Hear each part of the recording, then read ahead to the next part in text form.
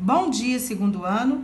Hoje nós vamos corrigir a atividade matemática que nós falamos ontem. Lembra da adição e subtração? Então vamos abrir o nosso livro na página 54, a partir do exercício 10.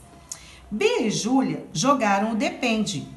Faça os cálculos para saber a pontuação de Júlia. Lembra da nossa regra?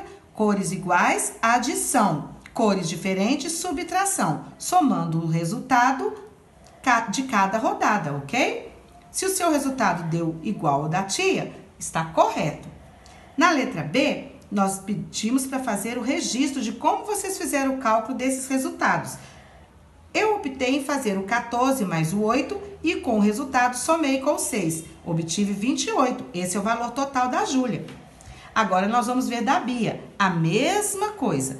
Cores diferentes, subtração cores iguais, adição. Somando os resultados, a Bia teve 21 pontos. Então, quem ganhou o jogo foi a Júlia, certo? Tranquilo, né? Na página 56, nós, com base na, no jogo depende, nós vamos marcar quando a operação deve ser é, efetuada em cada rodada, se é adição ou subtração. Lembrando a nossa regra: cores iguais, adição cores difer diferentes, subtração.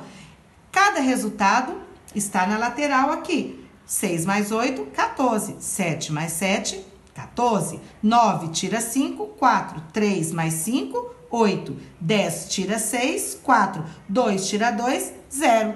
Ok?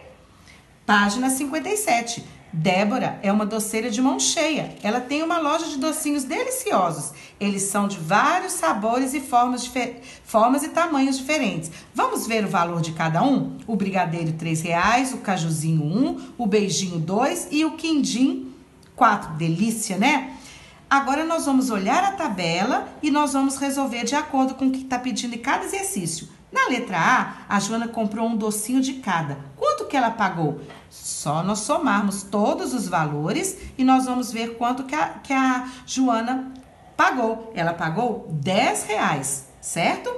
Na letra B, e se você tivesse 10 reais, que docinhos você compraria na loja da Débora? Sobraria algum troco? Quanto? Essa é uma resposta pessoal. Depende do docinho que você escolher. Eu, se eu tivesse 10 reais, eu compraria dois brigadeiros e compraria um quindim e não teria troco. E o nosso último exercício é uma resposta pessoal. Tá pedindo para você fazer com um colega. Como nós não estamos em sala de aula, pode ser com a mamãe, com o papai. A professora pediu que os alunos resolvessem o seguinte problema. Marcela tem um estojo onde, onde pode ser guardados 12 lápis. Ela colocou quatro lápis e depois outros seis lápis no estojo. Quantos lápis Marcela ainda pode colocar no seu estojo? A Eduarda e a Renata fizeram dessa forma a distribuição. E você? Qual da maneira que você escolheu? Por que, que você escolheu?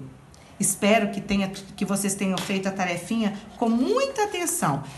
Amanhã falaremos sobre antecessor e sucessor. Aguarde o um novo vídeo. Um beijo e continue em casa, hein? Até mais!